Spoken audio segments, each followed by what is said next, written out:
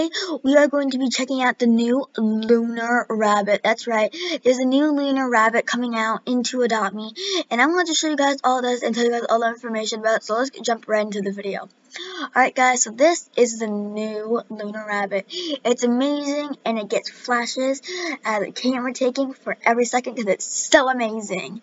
And I really love this. It has a little moon symbol on it and it's called the Lunar Rabbit. It's coming out this Thursday along with all the other amazing pets which I'll be posting videos on too.